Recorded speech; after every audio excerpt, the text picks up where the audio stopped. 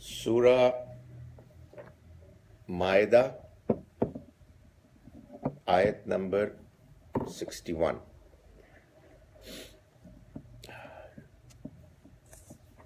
اعوذ باللہ من الشیطان الرجیم بسم اللہ الرحمن الرحیم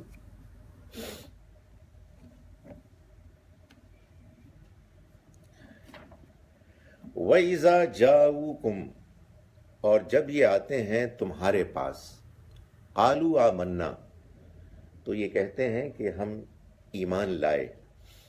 وقد دخلوا بالکفر حالانکہ وہ داخل ہوئے کفر کے ساتھ۔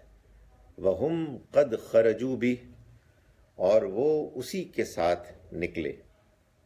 واللہ اعلم بما کانوا یکتمون اور اللہ خوب جانتا ہے جو کچھ کہ وہ چھپاتے ہیں۔ یہ ذکر ہو رہا ہے ان منافقین کا کہ جو یہودی تھے، یہودیوں سے متاثر تھے اور وہ مسلمانوں کے ساتھ بھی اپنے آپ کو آئیڈینٹیفائی کرنے کا فیصلہ کیے ہوئے تھے۔ اس لیے کہ اسلام کی طاقت اب اتنی بڑھ گئی تھی کہ ان کا یہ خیال تھا کہ ان سے الگ ہو کے نمایاں ہو کر ان کی مخالفت یہ مناسب نہیں ہے۔ چنانچہ وہ جب آتے مسلمانوں کے پاس تو وہ یہ کہتے کہ ہم ایمان لے آئے، ہم بھی ایمان لاتے ہیں۔ اور اس سے ان کی انڈرسٹینڈنگ یہ ہوتی کہ ہم ان کو اللہ کا پیغمبر مانتے ہیں مگر تمہارے لیے مانتے ہیں۔ یعنی ہم اپنے لیے ان کو یہ حیثیت نہیں دیتے، یہ ٹھیک ہے اللہ کے پیغمبر ہیں، بنی اسماعیل کے لیے ہیں ہم ان کو یہ حیثیت دے رہے ہیں، ہم ان کا انکار نہیں کرتے۔ تو اللہ تعالیٰ نے ان کے اس اس سٹینس کو، اس نقطۂ نظر کو قبول نہیں فرمایا اور کہا کہ وہ یہ کہتے ہیں کہ ہم ایمان لائے، جبکہ وہ داخل ہوئے کفر کے ساتھ اور اسی کے ساتھ نکلے۔ اور اللہ جانتا ہے جو کچھ کہ یہ چھپاتے ہیں۔ آپ کہیں گے کہ، اس میں آخر کیا ایسا مسئلہ حرج ہے؟ دیکھیں، اگر وہ اپنی یہ بات پیش کرتے اور وہ اپنا یہ جو بھی دینی موقف ہے اس کو بیان کرتے، جس کے بعد اس پر ڈسکشن ہوتی، ان پر واضح کیا جاتا کہ نہیں، یہ قرآن، تورات اور انجیل کے واضح بیانات کے مطابق ان دونوں کتابوں کا اگلا ایڈیشن ہے، اس کی تکمیل ہے۔ ان دونوں کو ماننے کا یہ لازمی تقاضا ہے اس کو پورے کے پورے کو مانا جائے یہ ان پر واضح کیا جاتا۔ جی۔ تو کیا ہوتا ہے کہ انسان جب کسی چیز کو ماننا نہیں چاہتا تو بعض اوقات اس کو ڈسکس بھی نہیں کرتا۔ کہ خواہ مخواہ ایک بات کریں گے تو پتہ نہیں کوئی اور ہی بات بیچ میں نہ نکل آئے جس کو ہم ماننے کے لیے تیار نہیں ہیں۔ تو یہ یہاں کہا گیا کہ اللہ خوب جانتا ہے جس کو چھپاتے ہیں۔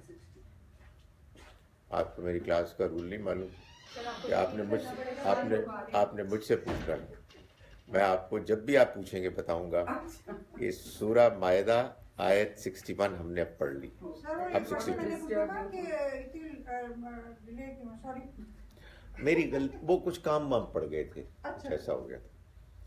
تو اب ہم پڑھ رہے ہیں سورہ معدہ کی آیت نمبر سکسٹی ٹو سے۔ وہ کچھ کچھ میرا نفسیاتی مسئلہ ہے۔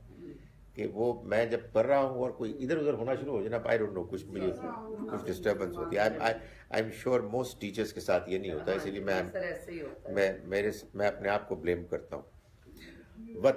و ترا کثیرم من ہوں اور تم دیکھو گے بہت سوں کو ان میں سے یو سارعون فی الاسم والعدوان۔ کہ یہ سرگرمی دکھا رہے ہیں آگے بڑھ رہے ہیں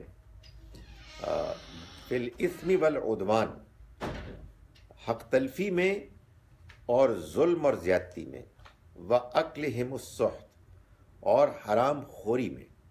اس میں سرگرمی دکھا رہے ہیں۔ لب سما کانو یا بہت برا ہے کہ جو یہ عمل کرتے ہیں۔ سوال یہ پیدا ہوتا ہے کہ اس آیت کو یہاں پچھلی آیت کے ساتھ بیان کرنے کا کیا مقصد ہے؟ پچھلی آیت میں یہ بات بیان کی گئی ہے کہ یہ تو داخل ہی کفر کے ساتھ ہوتے ہیں اور اسی سے نکلتے ہیں۔ دل میں چھپایا ہوا ہے کہ ہم اگر یہ کہہ رہے ہیں کہ ہم ایمان لائے تو حقیقت میں ہم صرف یہ کہہ رہے ہیں کہ ہم ان کو تمہارے لیے پیغمبر مانتے ہیں، اپنے لیے نہیں مانتے۔ تو یہ ایک دل میں چور تھا۔ یعنی ان کی، ان کا ایمان، ان کا جو دین کے معاملے میں رویہ ہے، وہ غلط رویہ تھا۔ اس میں کوئی کلیرٹی نہیں تھی۔ وہ ایک ایسا کام کر رہے تھے کہ جس کی وجہ سے ان کے اپنے دل میں چور تھا۔ اور آگے یہ کہا گیا کہ یہ وہ لوگ ہیں کہ جو تم دیکھتے ہو کہ بہت سرگرم عمل ہیں۔ حق تلفی میں، ظلم اور زیادتی میں اور حرام خوری میں۔ یہ بات قرآن سے بالکل واضح ہوتی ہے اور اگر آپ میں سے بعض لوگوں نے وہ میری تحریر پڑھی ہو جو میں نے ابھی دو تین دن پہلے بھیجی تھی کہ انسانی اخلاق کا ہدایت سے براہ راست تعلق۔ آپ اگر اپنے اخلاقیات میں ٹھیک ہیں، تو آپ کو اللہ توفیق دے گا کہ آپ اللہ کے دین کے فہم میں بھی ٹھیک ہوں گے، اگر وہ ٹھیک طرح سے پیش کیا جائے۔ لیکن اگر آدمی دو نمبر ہے، حق تلفی کر رہا ہے، ظلم زیادتی کر رہا ہے حرام خوری کر رہا ہے، تو پھر دین کے معاملے میں اس کا رویہ ٹھیک نہیں ہو سکتا۔ پھر وہ چکر چلائے گا۔ پھر وہ وہاں بھی دو نمبری کرے گا۔ پھر وہ بات کو چھپائے گا۔ پھر وہ ٹھیک طرح سے بات نہیں کرے گا۔ پھر وہ اپنے مذہبی تصورات کو ٹھیک کرنے کی کوشش نہیں کرے گا۔ وہ کہے گا، نہیں، ان سے بات کرنے کوئی فائدہ نہیں، اس سے خواہ مخواہ ہو بات خراب ہو جائے گی۔ سو، رہنے دو۔ تو یہاں قرآن مجید نے انہی منافقین انہی یہود، یہودیوں سے متاثر ان لوگوں پر تبصرہ کیا ہے کہ جو نبی اکرم صلی اللہ علیہ وسلم کی مجالس میں آتے، مسلمانوں سے ملتے جلتے، ان کو یہ باور کراتے کہ ہم ہم بھی ایمان لائے ہیں، لیکن اصل میں ان کو دھوکہ دیتے۔ وہی بات ہے کہ جو وہاں دھوکہ دیتا ہے، وہ یہاں ایماندار کیسے ہو سکتا ہے؟ اور جو یہاں بے ایمان ہے، وہ وہاں ایماندار کیسے ہو سکتا ہے؟ لیکن اس میں میں نے ایک اور چیز لکھی تھی جو دوسرے اس میں اپنی جو پیس بھیجا تھا کہ اس میں ظاہر ہے کہ یہ ایک ایزمشن ہے کہ دین کا پیغام صحیح طرح سے پیش کیا جا رہا ہے۔ اس کا کیا مطلب ہے؟ اس کا مطلب یہ ہے کہ پیش کرنے والے بھی ٹھیک ہیں اور جس طرح سے وہ پیش کر رہے ہیں وہ بات بھی ٹھیک ہے۔ اور ظاہر ہے کہ یہ شرائط اپنی آخری حد تک پرفیکٹلی موجود ہوتی ہیں اللہ کے پیغمبروں میں۔ تو چنانچہ اللہ کے پیغمبروں کے زمانے میں اگر کوئی شخص دین کے معاملے میں غلط رویہ اختیار کرتا ہے، تو اصل میں وہ ایک بد اخلاق انسان ہوتا ہے، برا انسان ہوتا ہے۔ فرمایا کہ لولا ینہاہم الربانیون والاحبار، کیوں نہیں روکتے ان کو ربانی یعنی علماء والاحبار اور ان کے فقہا؟ ان قولہم الاسم، ان کے گناہ کی بات سے و عقل اور ان کی حرام خوری سے لب سما کانو یسنعون بہت برا ہے کہ جو کچھ یہ کر رہے ہیں۔ یعنی جو یہ کر رہے ہیں، یہ کتنی بری چیز ہے۔ یعنی ایک بات تو یہ کہ جب برائی ہوتی ہے، برائی بعض اوقات ایک کمزوری کی وجہ سے بھی ہوتی ہے۔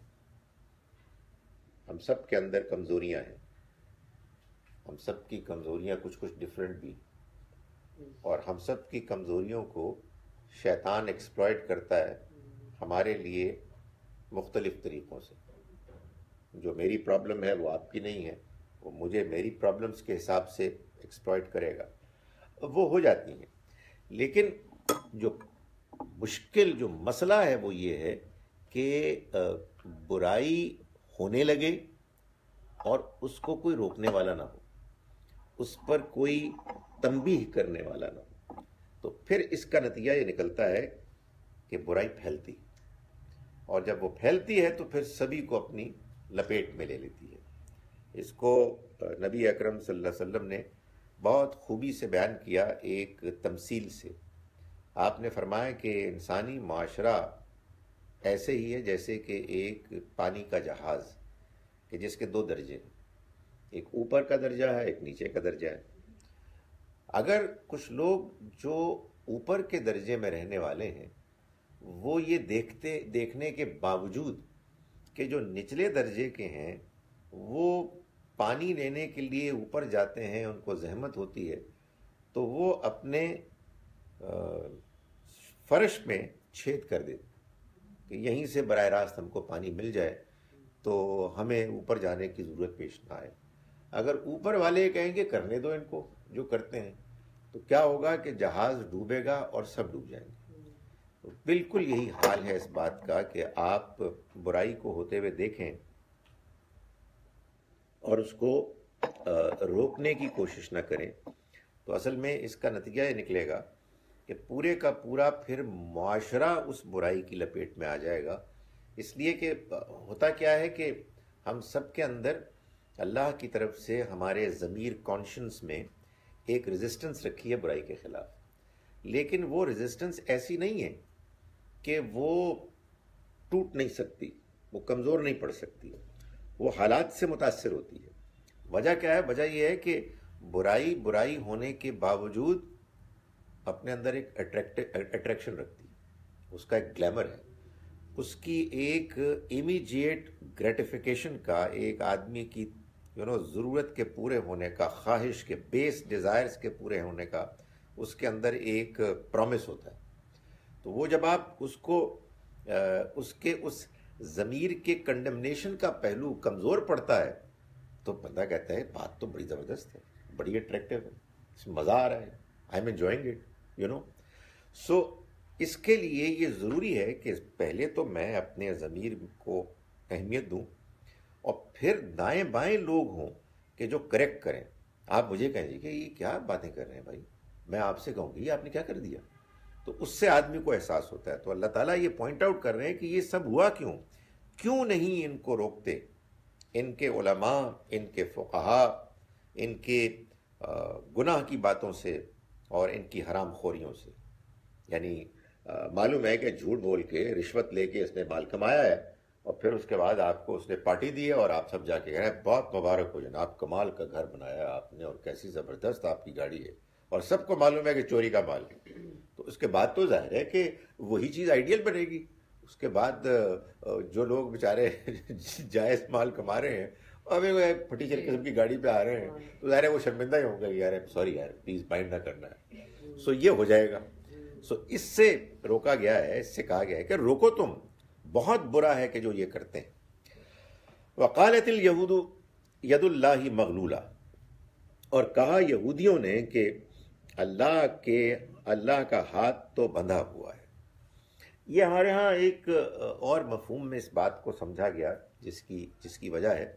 لیکن بظاہر ایسا لگتا ہے سیاق سباق میں کہ یہ یہودیوں کا وہ رویہ تھا انڈرسٹینڈنگ تھی۔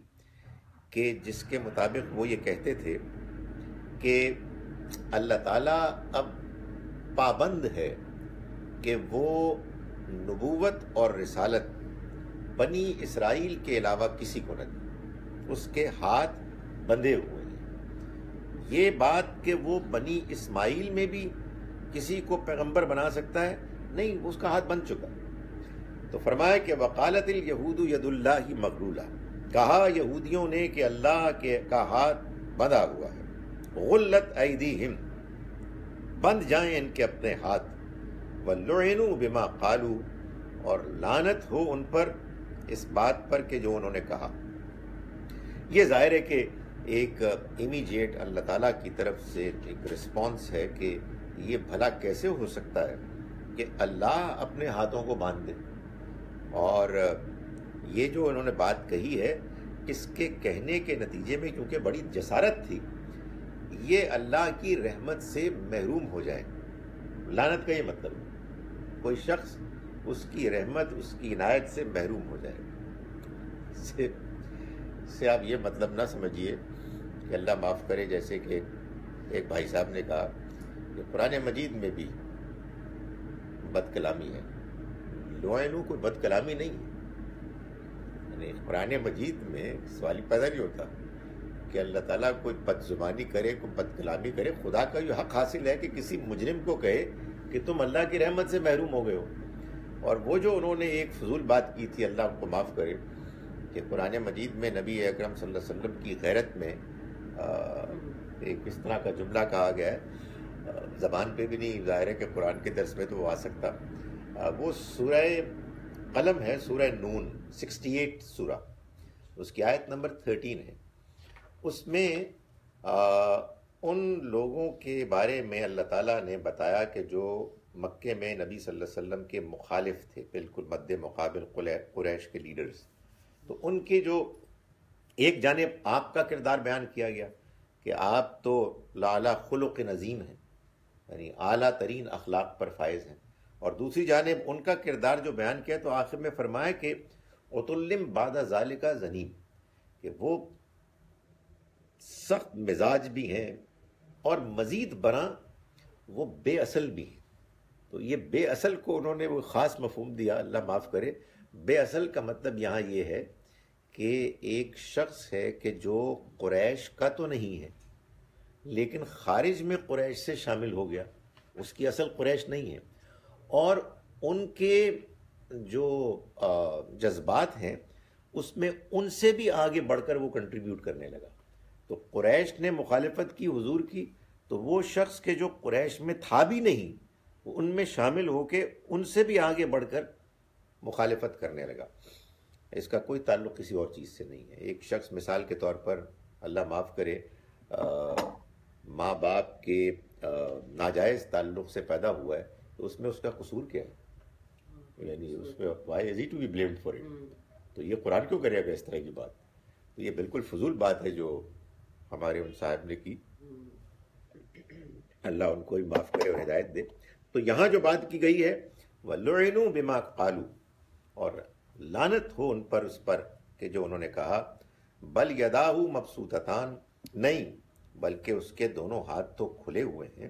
ينفقو کیف یشا وہ جس طرح چاہتا ہے عطا کرتا ہے، جس طرح چاہتا ہے دیتا ہے یعنی خرچ کرتا ہے یعنی جو اپنے وسائل ہیں، اپنے فیصلے ہیں، اپنی عنایات ہیں، جیسے چاہتا ہے وہ بانٹتا ہے۔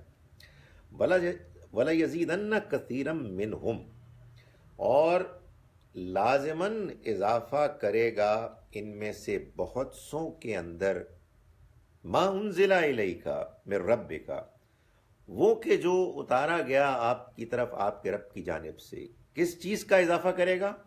تو غیانن و کفرا، سرکشی اور کفر کا۔ یعنی جیسے جیسے آپ پر اللہ کا پیغام آئے گا، ویسے ویسے ان کے اندر سرکشی اور کفر میں اضافہ ہوگا۔ یہ معلوم بات ہے کہ جب انسان کسی دوسرے انسان سے حسد کرتا ہے اور کسی بنیاد پر کرتا ہے۔ تو وہ جو بنیاد ہے لیٹ سے وہ بنیاد ہے اس کا علم۔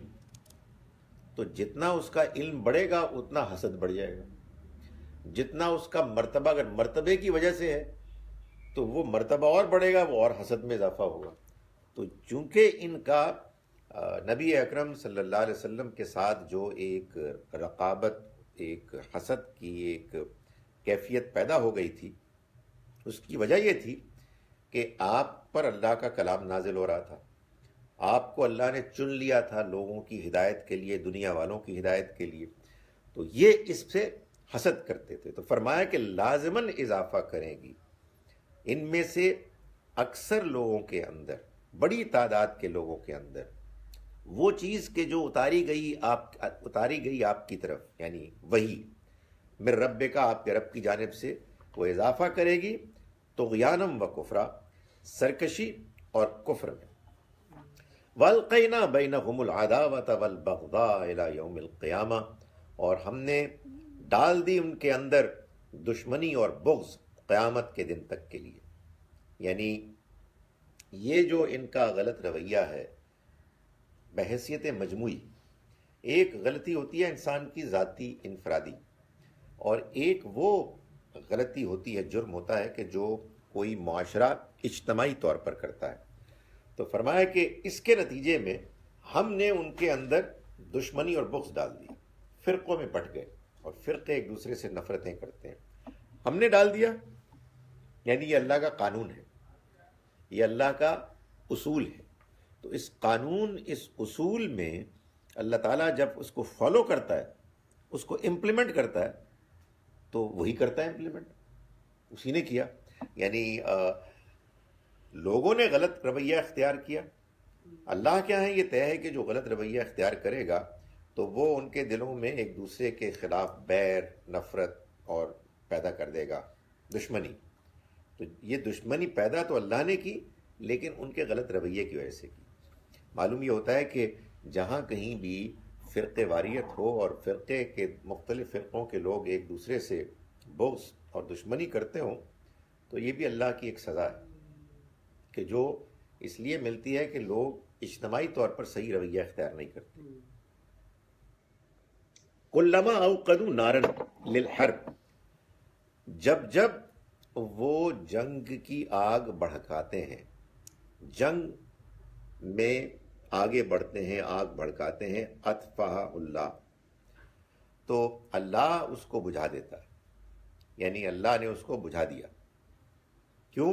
تاکہ بہرحال یہ بغاوت نہ پھیلے، یہ دنیا میں وہ رہیں۔ لیکن ان کے ہاں یہی روش رہتی ہے کہ وہ ایک دوسرے سے لڑتے رہیں۔ وہ یہ ساؤں نہ فی الحال فسادہ اور وہ زمین میں فساد برپا کرتے ہیں۔ واللہ لا يحب المفسدین اور اللہ فساد مچانے والوں کو ہرگز پسند نہیں کرتا۔ ولو ان اہل الكتاب آمنوا واتقوا، اور اگر اس کے برعکس، اگر یہ اہل کتاب ایمان لے آتے یعنی ہمارے ان پیغمبر پر، ان کی لائی ہوئی، ان کے ساتھ آئی ہوئی کتاب پر، واتقوا اور تقوی اختیار کرتے لکفرنا عنہم سیئاتہم، تو اس کے نتیجے میں ہم ان کی برائیاں ان سے دور کر دیتے۔ ولا ادخلنا ہم جنات النعیم اور ہم ان کو داخل کرتے نعمت کے باغوں میں۔ یعنی یہ اگر اپنا رویہ درست کرتے، تو پھر اس کا ان کو صلاح دنیا میں یہ ملتا کہ ان کی سیاحت صاف ہو جاتی۔ سیاحت یعنی چھوٹے گناہ۔ بڑے گناہ ہوتے تو وہ ایمان ہی نہ لاتے۔ بات آپ سمجھے؟ وہ پھر ایمان ہی نہ لاتے۔ اس لیے کہ وہ تو آدمی کے کردار کو پست کر دیتا ہے۔ اللہ ایک آدمی توبہ کرے۔ چھوٹی چیزیں لگی ہوئی ہوتی ہیں سبھی کے ساتھ۔ اللہ معاف کرے۔ آدمی کو امپروو کرنا چاہیے فائٹ کرنا چاہیے۔ کبھی ان کو جسٹیفائی نہیں کرنا چاہیے۔ کبھی ان کے بارے میں ڈھیلا نہیں ہونا چاہیے۔ اپنے آپ کو روزانہ بات کرنی چاہیے کہ یار بڑا ہی ڈوئنگ یار؟ کیا کر رہے ہو تو یو نو لیکن اللہ کی یہ بڑی مہربانی ہے کہ وہ یہ کہتا ہے کہ اگر آدمی اپنے ڈائریکشن کو ٹھیک رکھے تو وہ چھوٹی چیزوں کو معاف کر دے۔ اور چھوٹی چیزوں کے بارے میں بھی جاننا چاہیے کہ اگر آدمی ان کے بارے میں بہت زیادہ محتاط نہیں ہوتا اور ان کو ہونے دیتا ہے تو وہ بڑی بھی بن جاتی یو نو چھوٹی چیزیں ہوتی وہی ہیں کہ جو اصل میں اس لیے بری ہیں کہ they lead to bigger things so آدمی کو ظاہر ان سے بھی بچنے کی کوشش کرنی چاہیے۔ لیکن اللہ تعالیٰ یہ فرماتے ہیں کہ اگر وہ صحیح رویہ اختیار کرتے، ایمان لاتے، تقوی اختیار کرتے، تو ہم ان سے ان کی سیاحت دور کر دیتے اور لازماً ہم ان کو نعمت کے باغات میں داخل کرتے۔ ولو انہم مقام التورات والانجیل وما انزل الیہم من ربہم اور اگر وہ قائم رہتے تورات پر اور انجیل پر، اور جو اترا ان کی طرف، ان کے رب کی طرف سے۔ جو اترا ان پر، ان کے رب کی طرف سے یعنی قرآن۔ تورات اور انجیل کے بعد جو تیسری چیز ہے، وہ تو قرآن ہی ہے نا۔ یہاں اس کو یوں کیوں بیان کیا گیا؟ سیدھا سیدھا قرآن کیوں نہیں بیان کیا گیا؟ یہ بتانے کے لیے کہ بھائی یہ بھی تمہاری طرف، تمہارے رب کی جانب سے اترا ہے۔ یہ کنٹینیویشن ہے، تسلسل ہے تورات اور انجیل کا۔ ان میں آپس میں کوئی مغائرت کوئی تضاد، کوئی دشمنی نہیں ہے۔ یہ ایک ہی سلسلے کی مختلف کڑیاں ہیں، ایک ہی کتاب کے مختلف ایڈیشنز ہیں۔ جو تورات کو قرآن کا یہ مقدمہ ہے، قرآن کا یہ تھیسز ہے کہ جو تورات کو مانتا ہے سچائی کے ساتھ، جو انجیل کو مانتا ہے سچائی کے ساتھ، اس کے لیے قرآن کو ماننا نیچرل ہے۔ اس میں کوئی رکاوٹ نہیں ہونی چاہیے۔ ظاہر ہے کہ اب جو زمانے کی رکاوٹیں آ گئی ہیں وہ ہم مسلمانوں کو دور کرنی چاہیے۔ یہ سمجھانا چاہیے کہ دیکھو بھائی، تمہاری انجیل بس وہ ہے گاسپلز یا وہ ہے کہ جو اولڈ ٹیسٹمنٹ میں پہلی پانچ کتابوں میں تاریخ کے علاوہ ہے۔ اور اس میں بھی اب انفارچونیٹلی کیا ہوا ہے کہ اہل کتاب نے ان نشانات کو مٹانے کی کوشش کی کہ جو نشانات کسی پڑھنے والے کو مکے اور پیغمبر صلی اللہ علیہ وسلم کے انتخاب کی طرف لے جانے والے بنے۔ لیکن ابھی بھی یہ سمجھائی جا سکتی ہے بات کہ یہ وہی دین ہے، اسی دین کا یہ آخری اور محفوظ ایڈیشن ہے اور اس کو مانو۔ تو اللہ تعالیٰ فرماتے ہیں کہ اگر یہ ایسا کرتے کہ تورات اور انجیل اور جو ان پر ان کے رب کی طرف سے اترا ہے، اس کو اختیار کرتے، تو لَأَكَلُوا مِن فَوْقِهِمْ وَمِن تَحْتِ أَرْجُلِهِمْ تو یہ کھاتے اپنے اوپر سے بھی سروں کے اور اپنے پیروں کے نیچے سے۔ ابھی پیچھے بتایا گیا کہ انہوں نے غلط رویہ اختیار کیا تو آپس میں لڑنے بھیڑنے لگے۔ اب یہ بتایا جا رہا ہے کہ اگر یہ صحیح رویہ اختیار کرتے ایمان لے آتے، تو پھر ان کو دنیا میں بھی ترقی نصیب ہوتی۔ دیکھیے، انسان انفرادی حیثیت میں ایک انڈیویجول اگر نیکی اختیار کرتا ہے، صحیح رویہ اختیار کرتا ہے، یہ ہو سکتا ہے اس کو دنیا میں بہت ترقی حاصل یہ ہو سکتا ہے کہ دنیا میں بہت مار کھائے یہ ہو سکتا ہے کہ بس درمیان سے رہے۔ کوئی گارنٹی نہیں for an individual there are no promises in this world سوائے اس کے کہ اللہ اس کے حوصلے میں اضافہ کرے گا، اس کو موٹیویٹڈ رکھے گا، اس کو ہدایت دیتا رہے گا، اس کو، اس کی رہنمائی کرے گا۔ مگر مادی زندگی میں مٹیریل ورلڈ میں کیا وہ پروگرس کرے گا؟ نو گارنٹیز بہت بھی کر سکتا ہے، بہت ذرا کم کر سکتا ہے برابر سرابر بھی ہو سکتا ہے اور مشکلات بھی ہو سکتی ہیں۔ ہاویور اگر کوئی معاشرہ سوسائٹی بحثیت مجموعی بحثیت مجموعی کا مطلب ہے میجورٹی زیادہ لوگ، اگر وہ اپنے رویے کو ٹھیک کرتے ہیں، خاص طور پر یہ اہل کتاب، بنی اسرائیل، بنی اسماعیل، ابراہیم کی اولاد تو اللہ نے یہ وعدہ کیا ہے کہ دنیا میں بھی ان کو وہ ترقی نصیب ہوگی کہ جو ترقی عام طور پر معاشروں کو نہیں ہوتی یعنی اللہ کی مدد آئے گی۔ آسمان سے بھی آئے گی، زمین سے بھی آئے گی۔ یعنی مطلب یہ ہے کہ اللہ کی طرف سے ان کو برکتیں حاصل ہوں گی، صحیح ٹائم پہ بارش ہوگی، صحیح ہوائیں چلیں گی، زمین کے اندر سے اچھی فصلیں نکلیں گی۔ آپ کو معدنیات منرلز ملیں گے اور آپ کے ذہن میں اچھے آئیڈیاز آئیں گے سو آپ کو برکتیں حاصل ہوں گی۔ یہ اس دنیا میں ان کو ملتا اگر یہ صحیح رویہ اختیار کرتے۔ منہم امتم مقتصدہ۔ ان میں سے ایک گروہ ایسا بھی ہے کہ جو صحیح راستے کو اختیار کیے ہوئے ہیں۔ وہ کثیر منہم سا ما یعملون۔ لیکن زیادہ وہی ہیں کہ جن کے اعمال بہت برے ہیں۔ یا ایوہ الرسول، اے رسول، اے پیغمبر یعنی مطلب یہ ہے کہ اگر پوری بات کی جائے تو یہ ہے کہ ان کی آپ ان کو ان کی پرواہ نہ کریں۔ اے رسول یعنی مطلب یہ کہ آپ رسول ہیں، آپ کا کام پہنچانا ہے؟ رسول وہی ہوتا ہے جو پیغام پہنچاتا ہے۔ بلغ ما انزل الیک آپ پہنچا دیجیے جو کچھ نازل کیا گیا ہے آپ کی طرف میں رب کا، آپ کے رب کی جانب سے، آپ کے پروردگار کی طرف سے۔ یعنی مطلب یہ ہے کہ آپ رسول ہیں، آپ نے پیغام پہنچانا ہے۔ مانتے ہیں، نہیں مانتے سر کے جب وہ رکھا نا اپنے فون اس پہ تو مجھے اس کو میرے بچے کہتے ہیں آپ کو ٹیلی میں نے کہا آج اس کو ہے گرے گا ٹوٹ نہ جائے۔ الحمد للہ ٹوٹا نہیں۔ ٹوٹا نہیں شکر ہے۔ اب یہ میرا خیال ہے کہ یہ اینگل زیادہ بہتر یہ ٹھیک ہے یا ایوہ الرسول اے رسول اے پیغمبر بلغ ما انزل الیک آپ پہنچا دیجیے جو کچھ اتارا گیا آپ کی طرف، میرے رب کا، آپ کے رب کی جانب سے۔ اس سے ظاہر یہ معلوم ہوتا ہے کہ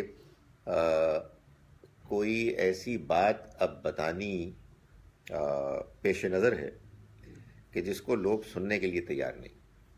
وہ آگے چل کے ہم دیکھیں گے کہ وہ یہی پیغام ہے جس کو بالکل دو ٹوک انداز میں اب بیان کرنے کے لیے کہا گیا کہ یہ اہل کتاب اگر اس پیغام کو مانیں گے، تبھی ان کے لیے اللہ کے ہاں کامیابی ہے، دنیا میں بھی اور آخرت میں بھی۔ اگر یہ نہیں مانیں گے، تو ان کی کوئی حیثیت نہیں ہے۔ یہ پیغام ایک سخت پیغام ہے۔ یعنی رسول اللہ صلی اللہ علیہ وسلم نے جب اس کو پیش کیا ہوگا، تو ظاہر ہے کہ اہل کتاب کی طرف سے بڑا ریئیکشن ہوا ہوگا۔ ان کا تو یہ خیال تھا کہ ہم آپ کو اکاموڈیٹ کر رہے ہیں۔ ہم کہہ رہے ہیں کہ ٹھیک ہے جی آپ اپنی جگہ بالکل ٹھیک ہیں۔ آپ ہمیں تنگ نہ کریں، ہم آپ کو تنگ نہیں کریں گے۔ لیکن یہ بات کہ یہ واضح کیا جائے، جیسا کہ آگے واضح کیا جائے گا کہ جناب، آپ کی کوئی حیثیت ہی نہیں ہے۔ خدا کے نزدیک آپ کی کوئی پوزیشن ہی نہیں ہے۔ اگر آپ اللہ کے اس پیغام کو نہ مانیں، تو یہ بات بیان کرنے سے پہلے ایک تمہید کے طور پر یہ بات کہی کہ اے رسول، آپ پہنچا دیجیے، جو اتارا گیا ہے آپ پر آپ کے رب کی جانب سے۔ وَإِلَّمْ تَفْعَلْ، اور اگر آپ نے ایسا نہ کیا، فما بلغتا رسالتا تو آپ نے اس کا پیغام نہیں پہنچایا۔ آپ نے اپنی ذمہ داری پوری نہیں کی۔ آپ کی ذمہ داری تو یہ ہے کہ آپ پورا پیغام پہنچائیں، اس میں کسی قسم کی کوئی کمی نہیں کی جا سکتی۔ کوئی حصہ اس میں نظر انداز نہیں کیا جا سکتا۔ پورے کا پورا پیغام پہنچائیں۔ واللہ یعصم کا من الناس۔ اور اللہ آپ کو ان لوگوں سے محفوظ رکھے گا۔ آپ کی حفاظت کرے گا۔ یعنی وہ حفاظت جو اللہ تعالیٰ نے اپنے رسولوں کی کی، اس لیے کہ وہ اللہ کا پیغام پہنچاتے ہیں اللہ کے پیغام کے پہنچانے میں کسی قسم کی کوئی رکاوٹ اللہ تعالیٰ نہیں قبول کرتے۔ سر اللہ تعالیٰ کا پیغام سے مراد فقط وہی ہے یا جو بعض و نصیحت کی جاتی ہے ایڈیشنل وہی۔ مطلب کلام کے علاوہ۔ ہاں دیکھیں کلام سے مراد یہ ہے کہ دین دین کے دو حصے ہیں۔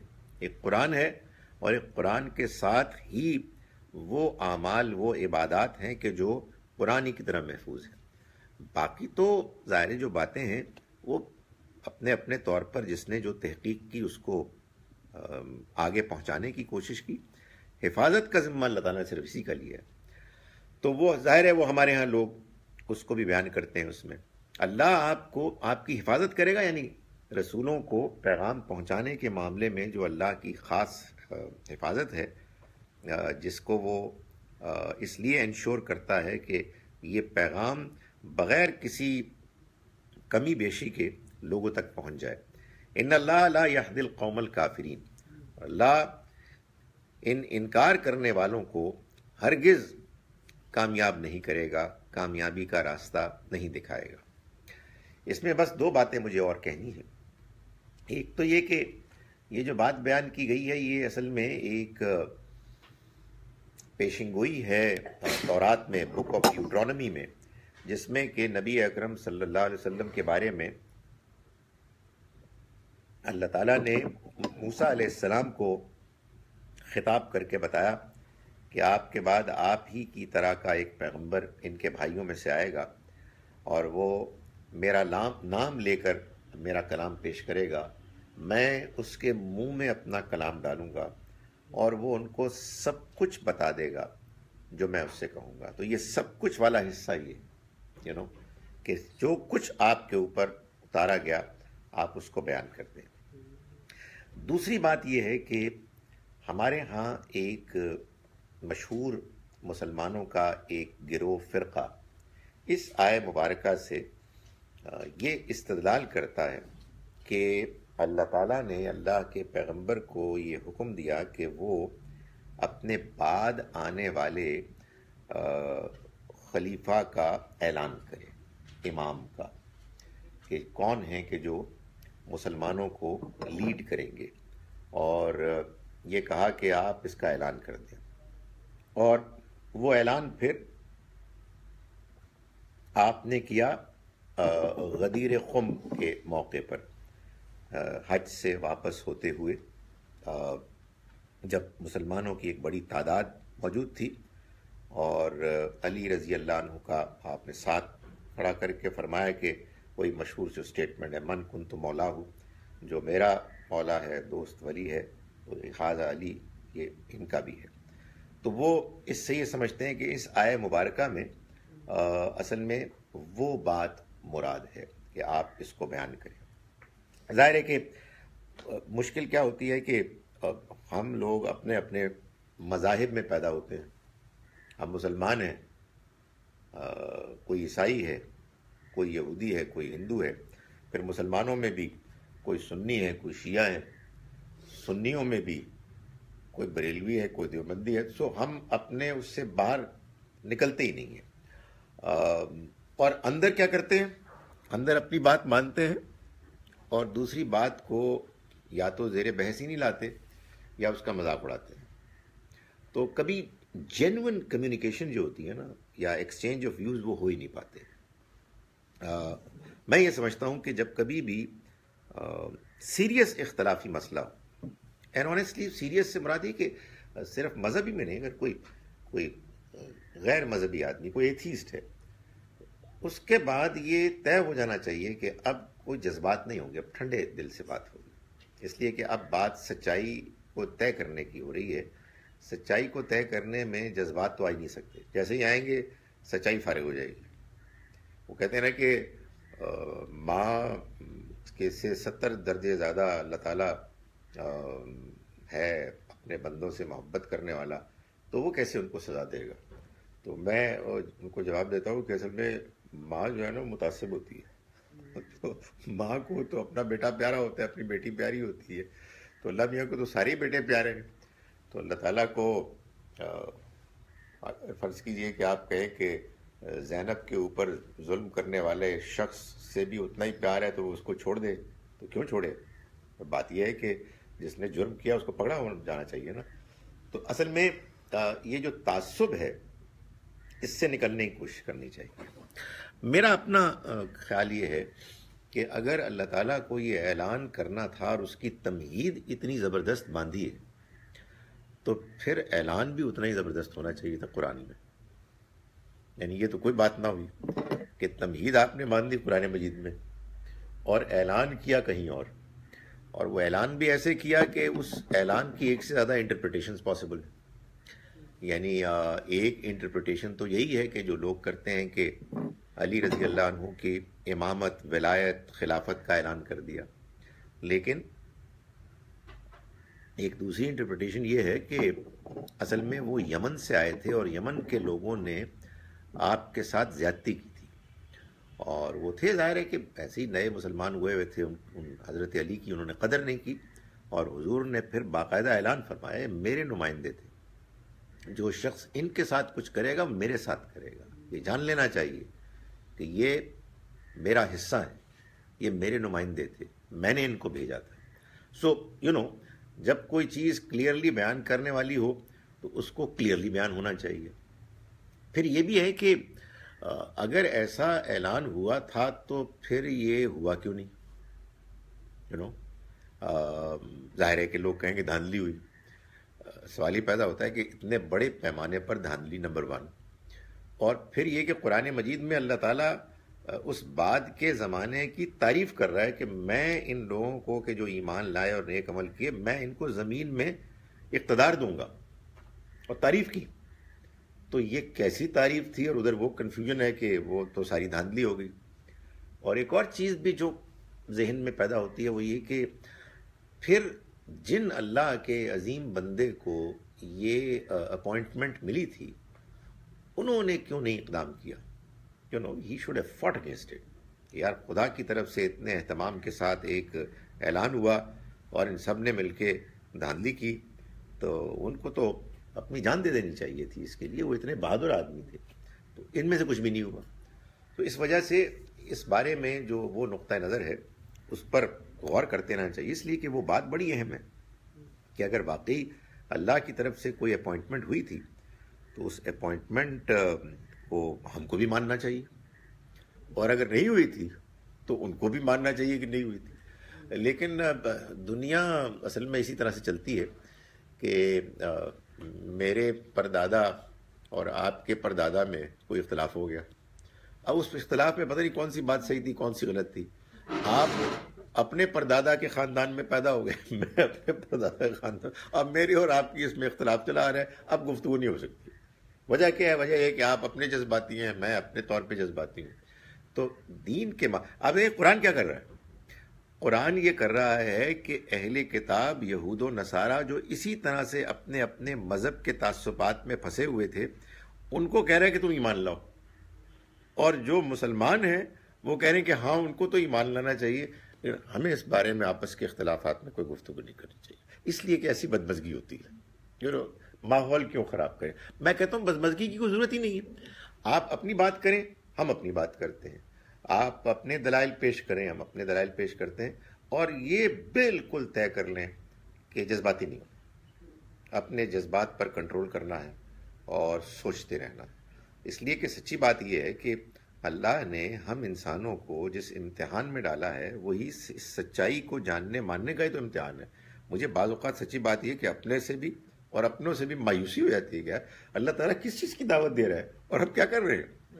یعنی جو ہم نے کسی موقع پر کسی استاد سے، کسی مولوی صاحب سے، کسی دادا پر دادا نانا پر نانا سے سن لیا اور وہ بس چلا رہا ہے اور اسی کے اندر اندر رہتے ہوئے تھوڑی بہت نیکی اور ترمیم ہو جاتی ہے۔ نہیں، دیکھیں it is difficult I know it is difficult لیکن میرا خیال ہے کہ اکیلے میں آدمی کو سوچتے تو رہنا چاہیے کہ کون سی بات صحیح ہے کون سی غلط ہے۔ جو بھی تنقید کرے اس کی تنقید سننی چاہیے۔ اس لیے کہ بہرحال اللہ تعالیٰ نے ہمیں اسی امتحان میں ڈالا ہے کہ ہم سچائی کو جاننے کی کوشش کریں اور اس رویے کو اس عمل کو جاری رکھیں۔ جی جناب۔ بالکل جی۔ ان شاء اللہ آیت نمبر اکسٹھ سے ہم نے شروع کیا۔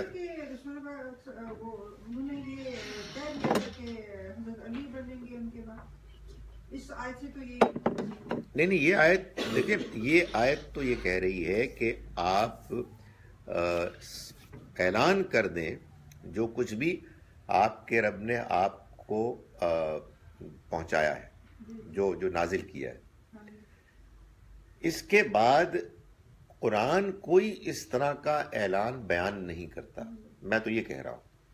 بلکہ ظاہر ہے کہ اس میں سوال پیدا ہوتا نا کہ وہ کون سی چیز ہے جس کے اتنے اہتمام کے ساتھ اعلان کا کہا جا رہا ہے۔ تو ایٹ لیسٹ دو پاسبلٹیز ہیں۔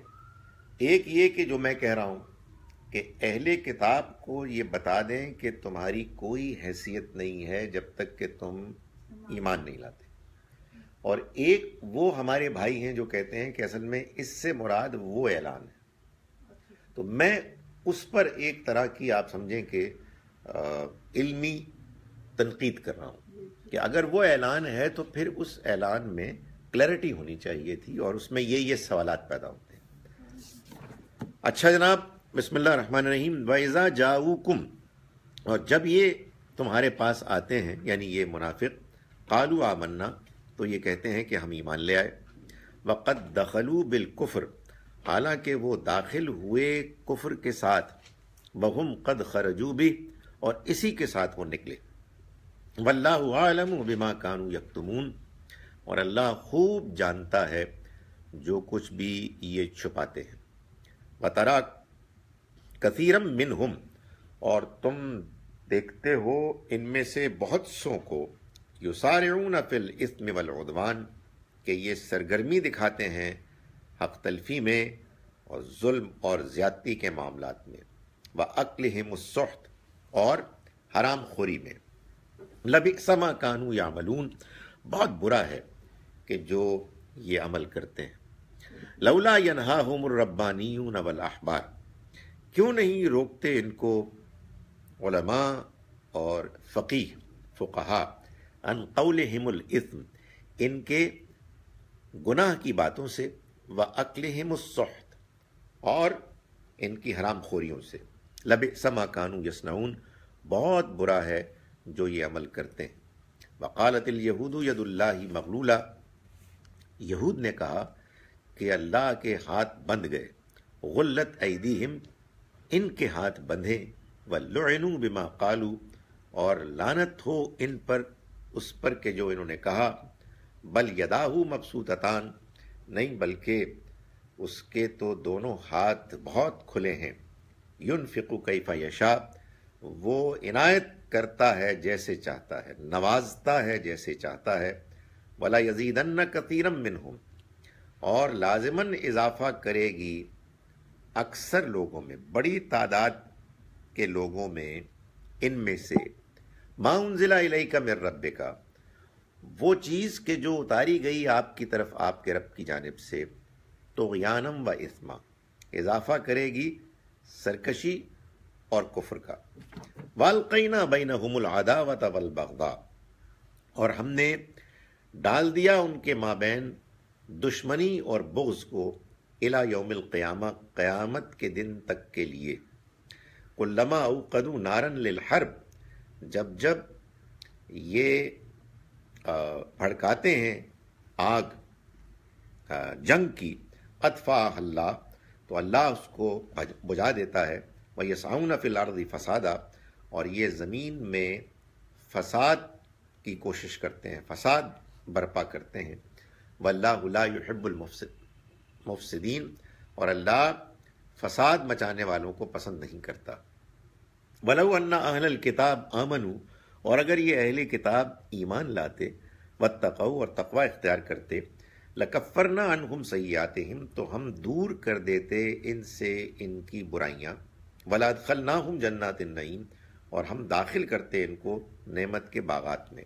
ولو انہم اقاموا التوراۃ والانجیل وما انزل الیہم من ربہم، اور اگر یہ قائم رہتے تورات پر، انجیل پر، اور جو کچھ اترا ان پر ان کے رب کی جانب سے اکلو من فوقہم تو یہ کھاتے اپنے سروں کے اوپر سے بھی، ومن تحت ارجلہم، اور اپنے پیروں کے نیچے سے بھی۔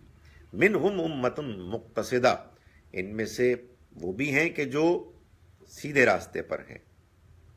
کثیر منہم سا ما یعملون، اور بہت سے ان میں سے وہ ہیں کہ بہت برا ہے جو وہ عمل کر رہے ہیں۔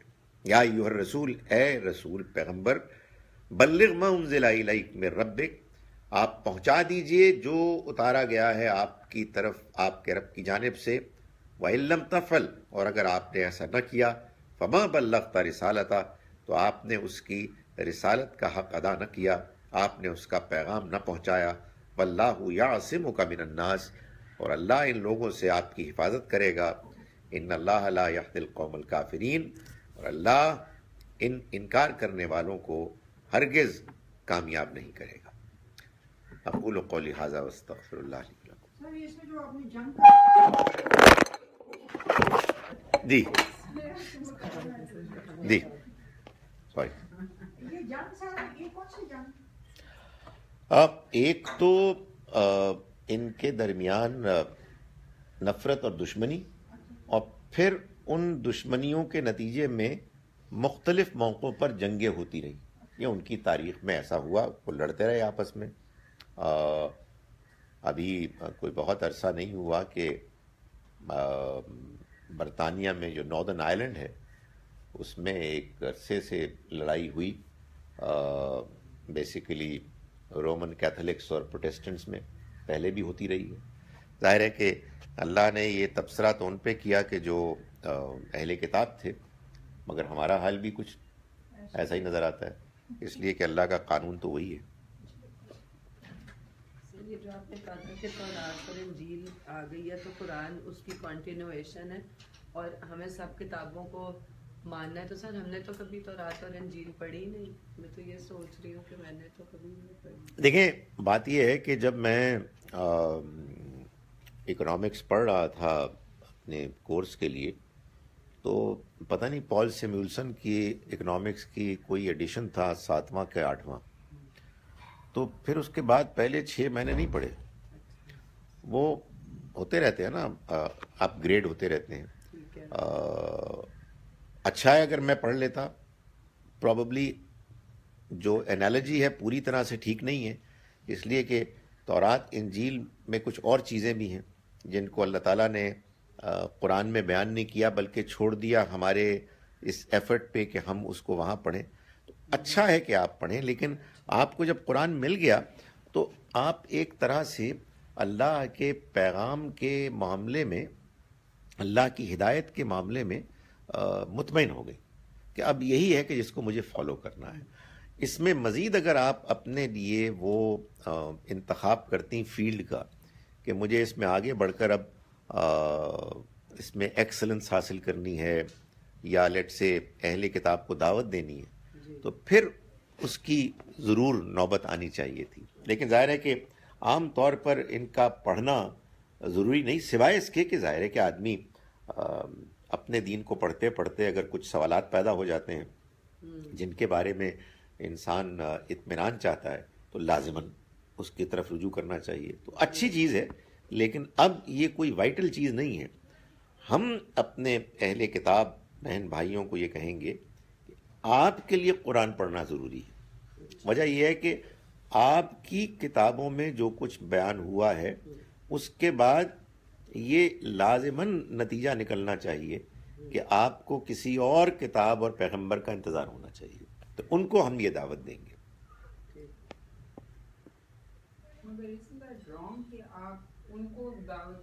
مگر you are not accepting what is in their books اللہ دیکھیں بات یہ ہے کہ یہ بات آپ کی صحیح ہے کہ جب ہم ان سے بات کریں گے اور وہ ہم کو دعوت دیں گے تو ہم ان کی بات دھیان سے سنیں گے۔ اور اگر کوئی بات ان کی ایسی ہے کہ جو ہم کو لگے گی ایسی کہ جو اپیلنگ ہے تو ہمیں اس کو ماننا بھی چاہیے۔ ظاہر ہے کہ اگر ان سے گفتگو کے دوران وہ مثال کے طور پر ہمیں یہ کہنے کی کوشش کریں کہ نہیں، یہ جو تمہاری پاس کتاب ہے نا، یہ یہ نہیں ہے۔ تو یہ بات بھی ہم دھیان سے سنیں گے۔ اور اگر اس میں کوئی ان کے پاس ایسی بات ہے کہ جس کے بعد ان کی بات بہت واضح ہو جاتی ہے، تو اس کو ہم اہمیت دیں گے۔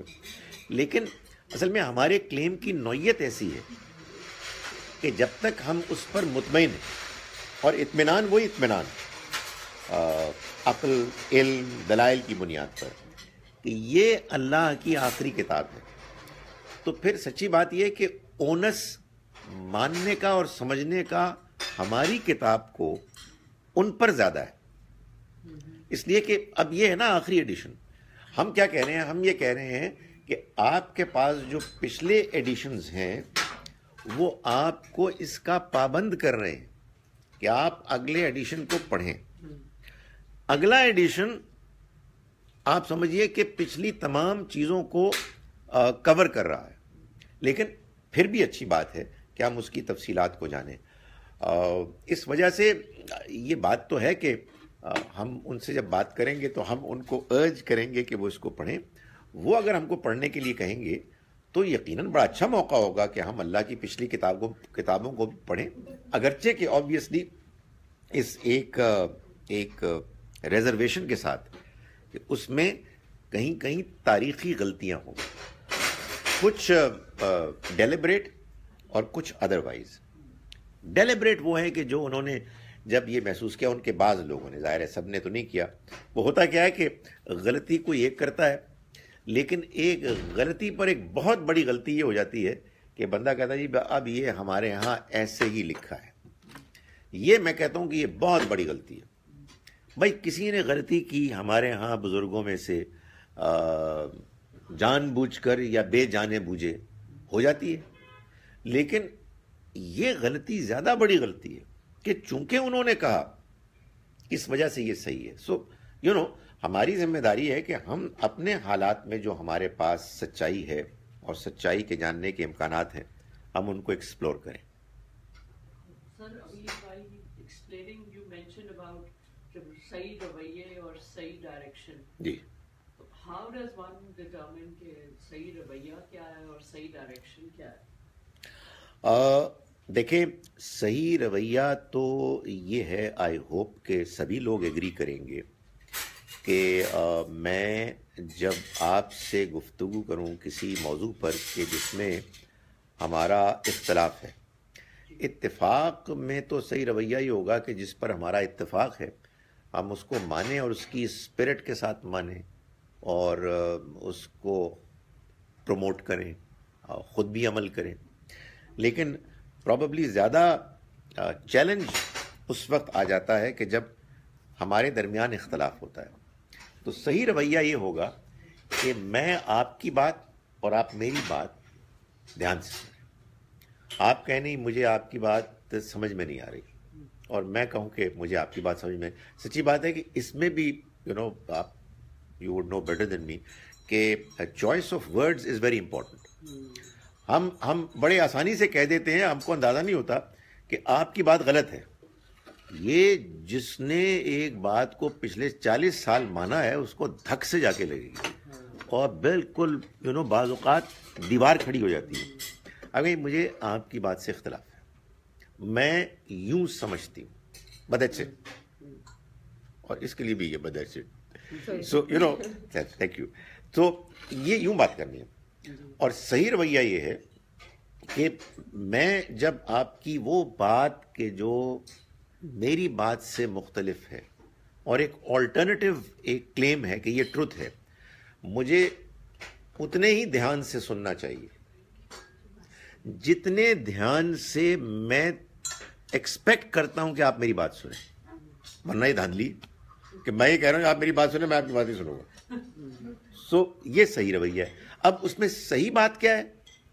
صحیح بات آپ کے پوائنٹ آف ویو سے وہ ہے کہ جو جب آپ نے یہ رویہ اختیار کر لیا، تو اس کے بعد آپ کا اطمینان ہو گیا کہ ہاں میری بات ابھی بھی ٹھیک ہے۔ یہ کیسے پتہ لگے گا کہ آپ کو اطمینان ہے یہ آپ خود بتائیں؟ گے قرآن کہتا ہے بل انسان و اعلیٰ نفس ہی بصیرہ. انسان اپنے نفس کو دیکھتا ہے، جانتا ہے، ولو القا معذیرہ، چاہے وہ کتنے ہی ایکسکیوزز کیوں نہ پیش کرے۔ سو میں اپنے دل میں جانتا ہوں کہ مجھے ایک بات سمجھ میں آ گئی ہے یا نہیں آئی ہے۔ اور یہی امتحان ہے۔ اور دوسری وہ اینٹی ہے خدا کی ذات کے جو جانتا ہے، جس کو ہمیں جواب دینا ہے۔ بالکل ایک ریلیونٹ بات ہے لیکن مجھے ایک دم سے خیال آیا کہ یہ باتیں کرنے میں مزہ کیوں آتا ہے؟ کہ بیٹھ گئے ہیں اور شروع کر دی۔ کس قسم کی باتیں؟ بس ہر قسم کی باتیں اور مطلب اس میں بات سے بات نکل آتی ہے and then some people are talking about like I was at you know tea the other day اور ادھر کچھ باتیں شروع ہو گئیں جو کہ مجھے میں نے دو مرتبہ کہا بھی کہ let's not indulge in this kind of گفتگو۔ تو چلو ہم کوئی اور بات کرتے ہیں۔ تو وہ لوگ جو تھے نا انہوں نے بالکل میری بات کو اس طرح کہ میری بات سنائی ہی نہیں دی کسی کو وہاں پہ۔ پانچ چھ لوگ تھے ہم خواتین تھیں and one person is talking اور سب بڑے خوش ہو رہے تھے سن کے بیکاز وہ کافی انتہا کی گوسپ تھی۔ اور مطلب آج کل جو ہو رہا ہے تصویریں سرکولیٹ ہو رہی ہیں واٹس ایپ میں اور عجیب عجیب باتیں ہو رہی ہیں۔ سو جو بھی لوگ جو کر رہے ہیں وہ پھر ان کا پرسنل معاملہ ہے۔ ہم کیوں اس کے اوپر اتنی بات دیکھیں دو دو دو دو چیزیں کرنی ہوں گی۔ ایک تو پوائنٹ آؤٹ کرنا ہوگا کہ یہ ٹھیک نہیں ہے۔ کھڑے ہو جائیں اٹھ کے پھر۔ اور دوسرا یہ کہ اگر وہ انسسٹ کریں تو do something that would reflect کہ آپ you know you don't like it اور آپ اس پہ پروٹیسٹ کر رہے ہیں۔ ہاں پھر آپ نے انجوائے نہیں کرنا۔ ہاں یہ بھی ہو سکتا ہے کہ یار یہ ہاں کہ آپ یہ بات بس آگے نہیں ہوگی۔ یار ایک بندے کا پرسنل معاملہ ہے پرسنل خود بتا رہی تھی نا لیکن اس میں تین اور لوگ انوالو تھے۔ وہ نہیں ہونا چاہیے۔ اپنا وہ بتا رہی ہے کہ میرے ساتھ یہ ہوا میرے ساتھ اس نے کیا مجھے یہ واٹس ایپ میسج اور نام لے لے کر بتا رہی تھی۔ اب ہم لوگوں کو ان لوگوں کے نام لوگوں کا نہیں پتا۔ بری بات ہے بری ہاں، بات ہے۔ یہ پوچھ رہے ہیں جناب کہ I am shock people use give فتوا on internet social media and on other places but here only nine ten eleven people are watching this video then how can they know about all Islamic points and give فتواز دیکھیں جی یہ تو دنیا ایک اللہ تعالیٰ نے آزاد جگہ بنائی ہے اور اس میں یو نو یہ تو ڈسکرپشن سب کے پاس ہے اگر اللہ تعالیٰ زبردستی کرنا چاہتا تو کر سکتا تھا لیکن پھر امتحان ختم ہو جاتا۔ اور یہاں تو نو دس گیارہ اس لیے بھی ہوتے ہیں کہ میری باتیں بڑی بورنگ ہوتی ہیں۔ یو نو مجھے پریزنٹیشن کی وہ سکلز نہیں آتی کہ جس میں یو نو لوگ وہ وہی ہے نا ٹیسٹ کی بات ہے۔ یو نو جیسے کھانے پینے میں۔ اصل میں دین میں کئی اب لوگ ہیں ایسے جو بہت انٹرٹیننگ ہیں۔ ہاں۔ تو people are not so happy to hear I been forwarding some of your things. Very boring یہ بات ہے۔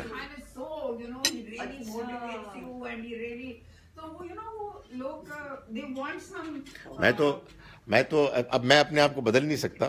میں تو عام طور پر دیکھتا ہوں کہ میری جو کلاس ہوتی ہے نا ٹپکل جو، اس میں کوئی چند اسٹوڈنٹس اگر متوجہ ہوں تو بڑا خوش ہوتا ہوں جی کہ، اور میں دیکھتا ہوں ان کو۔ باقی وہ باتیں کر رہے ہوتے ہیں کچھ شرارت کر رہے تو میں ان کو پھر میری کلاس کا ایک حصہ اسی میں صرف ہوتا ہے کہ میں ان کو ڈسپلن کروں گی یہ مت کرو یار مختلف۔ تو جب وہ شرارت کرنا یا باتیں کرنا بند کر دیتے ہیں نا، تو یو نو نیکسٹ چیز کیا ہوتی ہے؟ وہ سو جاتے rather than listen to this boring person they go to sleep so, وہ اور uh, وہ ٹھیک ہے وہ مجھے کوئی اتنا برا نہیں لگتا when one is born uh, with goodness God has put in us but so how come when we grow up in people the goodness gets replaced by evil دیکھیں یہ یوں ہے کہ مثال کے طور پر ہمارے اندر یہ گڈنس ہے کہ ہم جانتے ہیں کہ سچ بولنا اچھی بات ہے اور جھوٹ بولنا بری بات ہے۔ اب اگر آپ سے میں گفتگو کرتے کرتے آپ محسوس کریں کہ کیمرے کی کا ڈائریکشن بدل گیا ہے، تو آپ جان لیں کہ کیا ہو رہا ہے۔ سو سچ بولنا اچھی بات ہے اور جھوٹ بولنا بری بات ہے، یہ تو ہمارا کانشنس جانتا ہے۔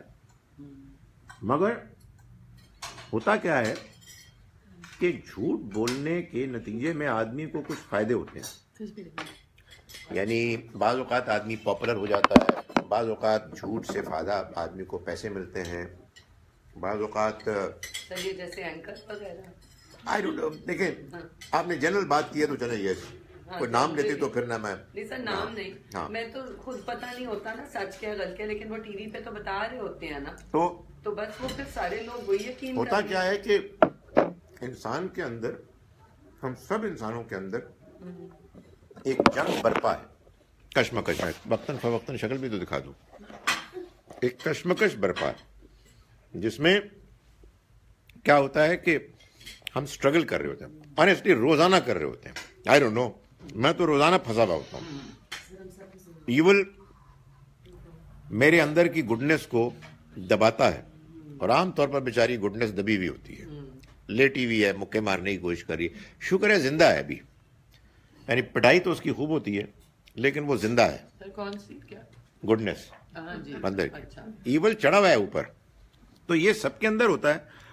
لیکن آپ کے سوال کا جواب یہ ہے کہ پھر یہ ہوتا ہے بعض اوقات انفارچونیٹلی جس سے اللہ کی پناہ مانگنی چاہیے جو جو بڑی خطرناک چیز ہے کہ بعض اوقات کیا ہوتا ہے کہ انسان ایول کے فائدوں کو اس کی اٹریکشن سے متاثر ہو کے اس کو اکوموڈیٹ کرتا ہے۔ وہ آپ کے اوپر غالب آ جاتی ہے اور پھر آپ کے اندر سے وہ احساس ختم ہو جاتا ہے۔ یہ ہے جو آ، اللہ معاف کرے my goodness point of no return ہے جس کو قرآن کہتا ہے سمم بکمن عمیون فہم لا یرجعون۔ یہ بہرے ہیں گونگے ہیں اندھے ہیں یہ اب لوٹ کے نہیں آئیں گے۔ یہ بہرے ہیں یعنی مطلب ان کے پاس کان تو ہیں مگر ان کے کان جو حق بات سننے کے لیے تیار نہیں ہے آواز جاتی ہے، الفاظ جاتے ہیں، پیغام نہیں جاتا، یہ یہ ہوتا ہے۔ یہ میں یہ کہتا ہوں کہ دنیا کی سب سے بڑی ٹریجڈی ہے۔ سب سے بڑی ٹریجڈی دنیا میں اس کے علاوہ کوئی ٹریجڈی ہے ہی نہیں۔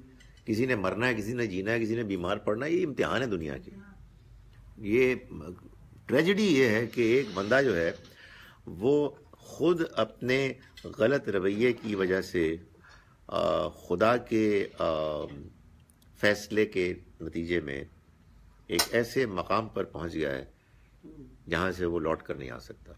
ختم اللہ علیہ قلوبہم، اللہ نے ان کے دلوں پر مہر کر دی وہ اعلیٰ سمعہم، اور ان کے کانوں پر وہ اعلیٰ ابصارہم غشاوت، اور ان کی آنکھوں کے آگے پردہ ہے یہ جو چیز ہے، یہ اس وقت ہوتی ہے کہ جب آپ، وہ جو حدیث میں آیا ہے نا کہ برائی کو برا جاننا چھوڑ دیں۔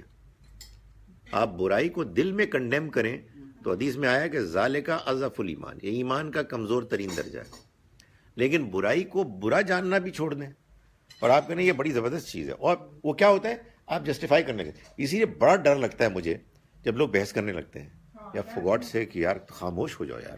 جسٹ شٹ اپ یار۔ اگر آپ کو بات نہیں سمجھ میں آئی ہے یا تو اس کے، اس سے جو ہے نا انسان کے انسان کے اندر یہ سختی پیدا ہو جاتی ہے۔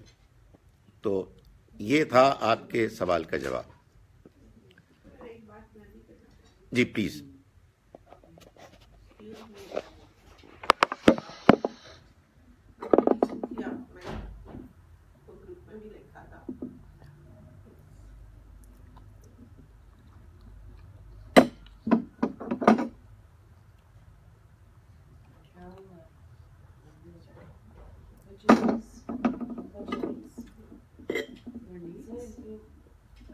اچھا ہاں آپ کی نیز تھے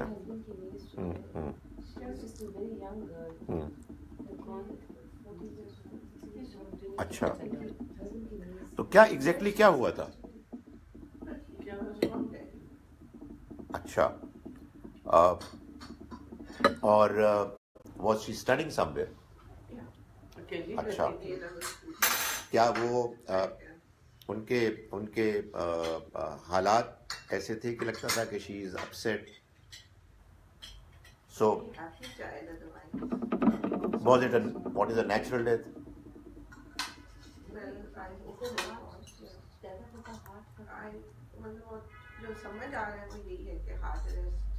okay لڑکوں میں تو یہ چیز کامن ہے اس کو unidentified cause of death اچھا جی وہ بتاتے تو نہیں ہے نا پھر دیکھیں بات یہ ہے۔ یہ تو کوئی شبہ ہی نہیں ہے کہ آپ لوگ جو ان سے ان کو جانتے تھے اتنے قریب تھے آپ کے اوپر اس کا اثر ہے۔ ہم انسان ہیں، ہمیں اللہ نے تعلقات، جذبات، ہمدردی دی ہے اور یہ اس کا نتیجہ ہے۔ مگر آپ آپ یہ دیکھیں امیجن کہ خدا نے جو ہم کو پیغام دیا ہے، اس پیغام میں کتنا اطمینان ہے۔ This girl she is not perished she is been transferred she has gone to another place جہاں ہم سب جا رہے ہیں۔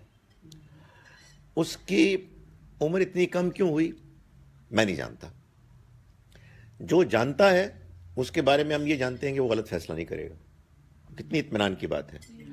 ہمیں معلوم ہے کہ اگر وہ سولہ سال سے سترہ اٹھارہ سال کی ہوتی، اس کے لیے برا ہوتا۔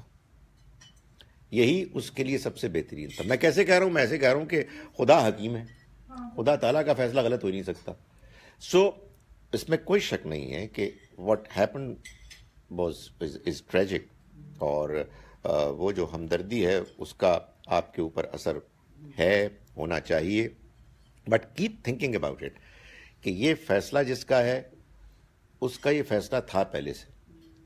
ماں اصابہ مم مصیبت فل اردی ولا فل سما کوئی مصیبت تم کو نہیں آتی، نہ زمین سے، نہ آسمان سے۔ اللہ فی کتاب من قبل ان نبرا سوائے اس کے کہ وہ ایک کتاب میں لکھی ہوئی ہوتی ہے، اس سے پہلے کہ ہم اس کو ظاہر کرتے ہیں۔ آگے اللہ تعالیٰ فرماتے ہیں، معلوم یہ کیوں کہہ رہے ہیں؟ لکھ کیلا تاسو علامہ فاتک ہو تاکہ تم افسوس نہ کرو اس پر کہ جو تم سے چھوٹ جائے۔ ولا تفرح بما آتا اور نہ خوش ہو اتراؤ اس پہ کہ جو تم کو ملا۔ بھائی، یہ تمہارا کوئی کمال ہی نہیں ہے۔ اور اس میں کسی کا کوئی قصور ہی نہیں ہے۔ سو یو نو ہم جیتے ہیں آخرت کے لیے۔ یا ہم ٹائم پاس کر رہے ہیں، امتحان سے گزر رہے ہیں۔ یہ زندگی ہم سب کے لیے ختم ہونے والی ہے۔ کسی کے لیے پہلا پہلے پہلے ہو گئی، کسی کے لیے بعد میں ہوگی۔ یہ ہم پر زیادہ اثر بعض اوقات اس لیے ہوتا ہے کہ ہم یہ امیجن کرتے ہیں کہ بھائی نارمل زندگی تو وہ ہے کہ اصغر خان صاحب چھیانوے سال کی عمر میں فوت ہوں۔ چھیانوے، آپ کو معلوم ہے کہ اصغر خان صاحب کا بیٹا ان کی فوت ہونے سے کوئی پندرہ سال پہلے یو نو زیادہ پہلے وہ فوت ہو گیا۔ یہ تو خدا کا اپنا ایک نظام ہے۔ اس نظام میں ہمیں جاننا چاہیے۔ آنیسٹلی یو نو پہلے مجھے بہت ہوتا تھا، اب بھی ہوتا ہے کہ یو نو ماں باپ کے ساتھ میں رہتا تھا تو یار یہ this this is this is not going to last you know کوئی ریلیجس میں نہیں تھا، لیکن آئی ایم شیور سبھی کے ساتھ۔ Is not going to last you know ہم جی رہے ہیں، ایک زندگی گزار رہے ہیں but the trouble is that you know it's not going to stay اور ابھی بھی ہوتا ہے یو نو کسی دن پتہ لگا کہ شرکا میں سے کوئی، یا مقرر، فاضل مقرر۔ So it's going to happen you know so this is obviously part of life لیکن ہیونگ سیٹ دیٹ جو گزر گیا اس کے لیے دعا کرنی چاہیے۔ اللہ سے بہتری کی دعا کرنی چاہیے۔ اور یہ دعا کرنی چاہیے کہ بہتر جگہ پر اچھے حالات میں ملاقات ہو۔ اور یہ والدین کو بھی آپ سمجھائیں، ان کو تسلی دیں۔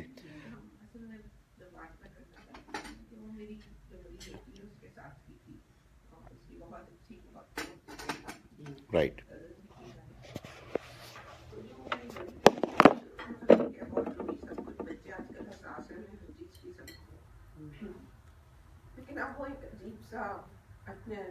بنا کے بیٹھتی میں اس کو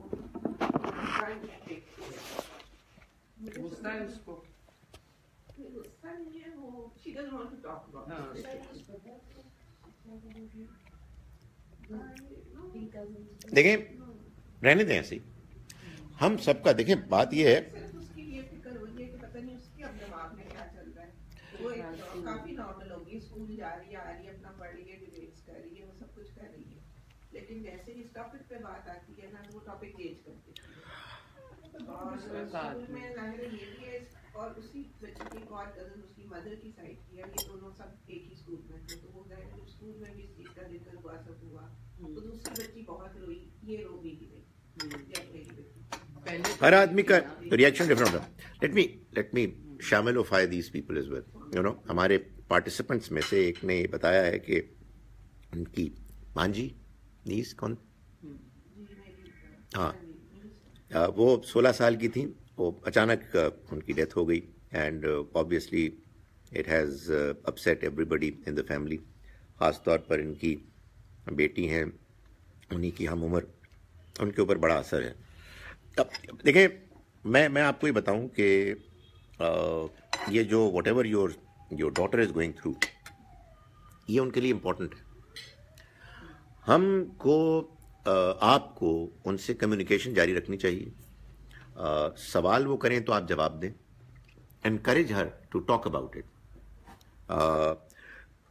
جو انسان کے اندر یہ پیدا ہوتی ہے نا ایک رویہ ریلیجن کی جانب، اس کے مینیفیسٹیشنز ڈفرینٹ ہوتے ہیں۔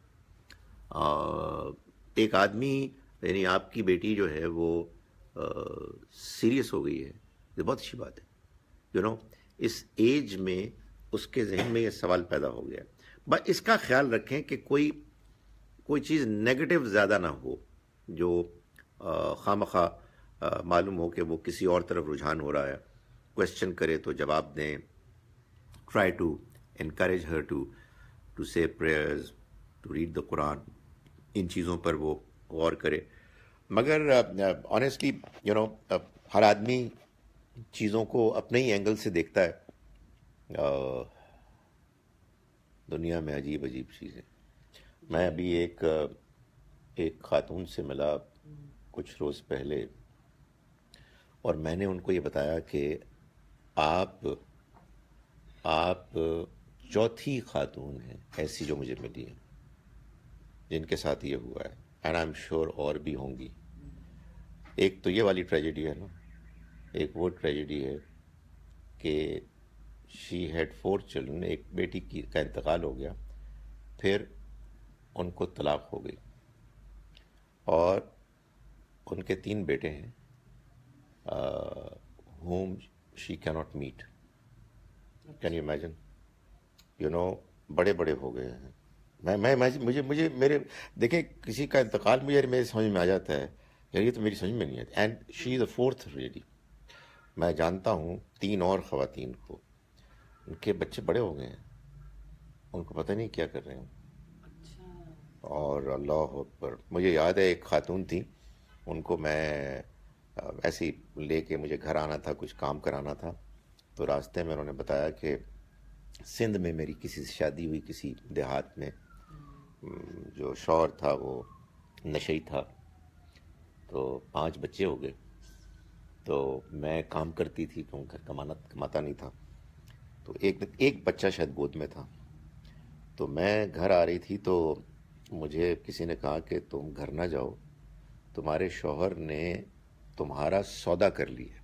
یو ہیو بن سولڈ کہتے میں بھاگی، ٹرین پکڑی اور میں لاہور آ گئی۔ یہاں میرے والد تھے۔ بیچاری غریب خاتون تھیں۔